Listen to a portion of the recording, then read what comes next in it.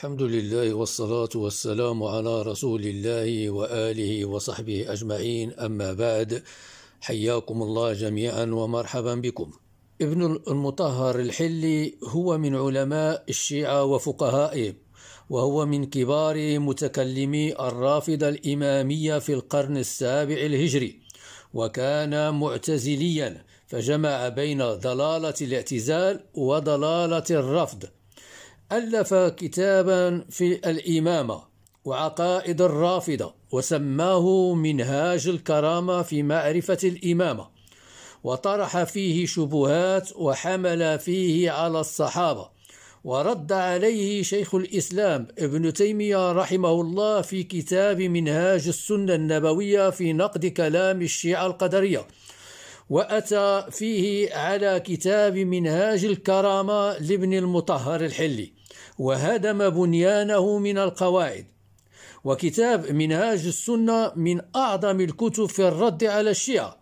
لكن نحن في هذه الحلقة لسنا بصدد ردود ابن تيمية رحمه الله على ابن المطهر الحلي لكن فقط سنعرض. بماذا وصف ابن تيمية كتاب منهاج الكرامة لابن المطهر؟ ووصف به ابن المطهر الحلي نفسه. وهل ابن المطهر المطهر الحلي خليق بالطهارة أم سيعطيه اسما آخر؟ يقول ابن تيمية رحمه الله في منهاج السنة النبوية في الجزء الأول في صفحة 21 يقول وهذا المصنف أي ابن المطهر الحلي وهذا المصنف سمى كتابه منهاج الكرامة في معرفة الإمامة وهو خليق بأن يسمى منهاج الندامة أي كان أولى بابن المطهر الحلي أن يسمي كتابه منهاج الندامة وليس منهاج الكرامة. كما أن من ادعى الطهارة لأن المصنف يسمي نفسه ابن المطهر. وهذا ما يعنيه ابن تيمية بكلامه كما أن من ادعى الطهارة وهو من الذين لم يرد الله أن يطهر قلوبهم بل من أهل الجبت والطاغوت والنفاق. فابن المطهر الحلي هو من أهل الجبت والطاغوت والنفاق كان وصفه بالنجاسة والتكدير أولى من وصفه بالتطهير. لأنه يسمي نفسه ابن المطهر الحلي وكان وصفه بالنجاسة والتكدير أولى من وصفه بالتطهير. أي كان أولى بابن المطهر الحلي أن يسمي نفسه بابن المنجس وليس بابن المطهر وهذا ما قاله الصفدي صراحة في كتابه في ترجمته لابن تيمية.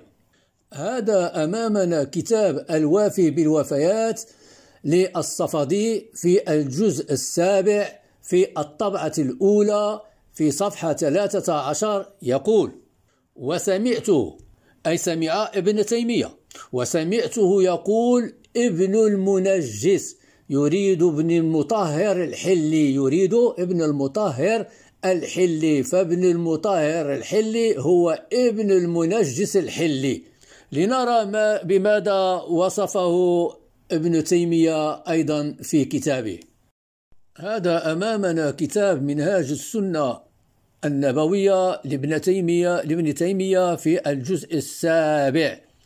في الجزء السابع صفحة 290 291 يقول ومن العجب ومن العجب أن هذا الحمار الرافضي أن هذا الحمار الرافضي يقصد ابن المطهر الحلي عفوا ابن المنجس الحلي الذي هو أحمر من عقلاء اليهود الذين قال الله فيهم مثل الذين حملوا التوراة ثم لم يحملوها كمثل الحمار يحمل أصفارا.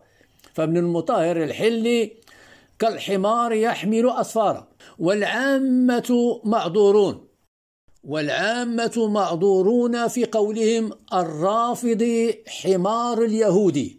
الرافض حمار اليهودي وذلك أن عقلاء اليهود يعلمون أن هذا ممتنع عقلا وشرعا وأن هذا كما يقال خر عليهم السقف من تحتهم فيقال لا عقل ولا قرآن.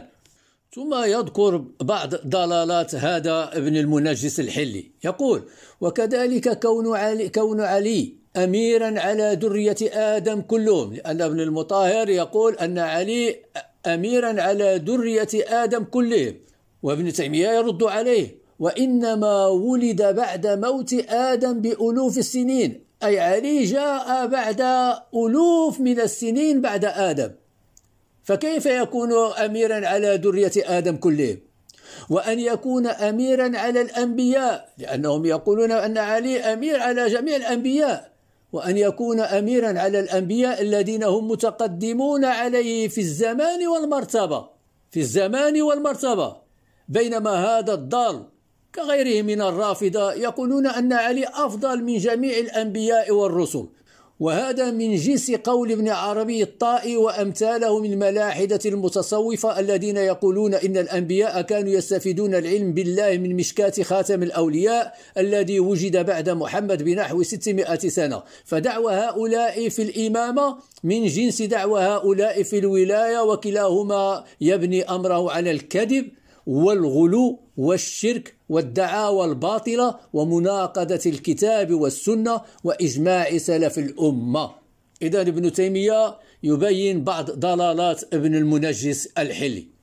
ثم يقول ثم إن هذا الحمار الرافضي يصفه بالحمار يصف ابن المنجس الحلي بالحمار الرافضي يقول وهو صريح في الباب.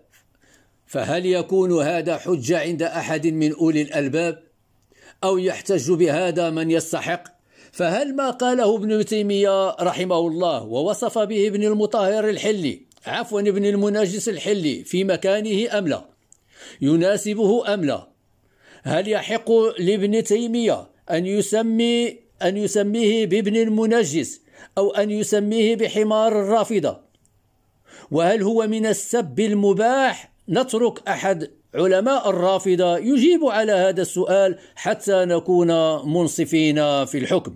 هذا أمامنا كتاب السرائر الحاوي لتحرير الفتاوي لابن إدريس الحلي في الجزء السادس بصفحة 282 يقول وقول القائل للمسلم أي إذا قال المسلم لمسلم وقول القائل للمسلم أنت خسيس أو وضيع.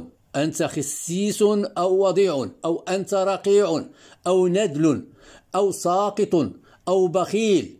أو بخس.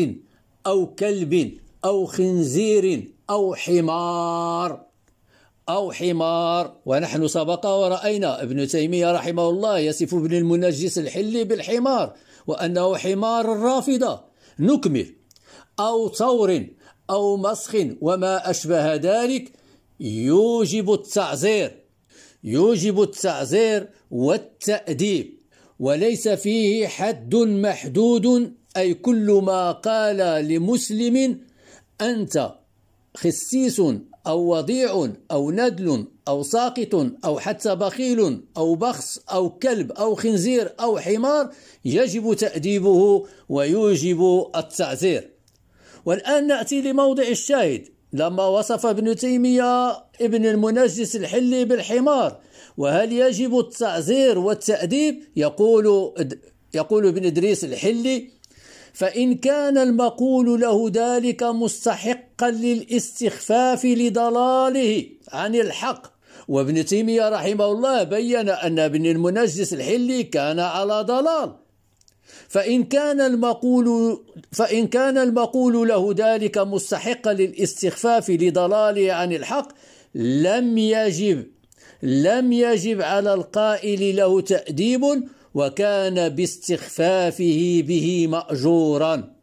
فابن تيمية رحمه الله لما وصف ابن لما وصف ابن المنجس الحلي وقال عنه حمار فابن المنجس يستحق هذا القول ولما استخف ابن تيمية بهذا الابن المنجس كان باستخفافه به مأجورا. فجزى الله ابن تيمية خيرا في رده على ابن المنجس الحلي وتبيان ضلاله وتبيان ضلال هذا الحمار الرافدي كما قرأنا في كتاب ابن تيمية رحمه الله. فالفائدة من هذا هو أن شيخ الإسلام ابن تيمية رحمه الله أراد التنفير منه. أراد التنفير من ابن المطهر الحلي من ابن المنجس الحلي.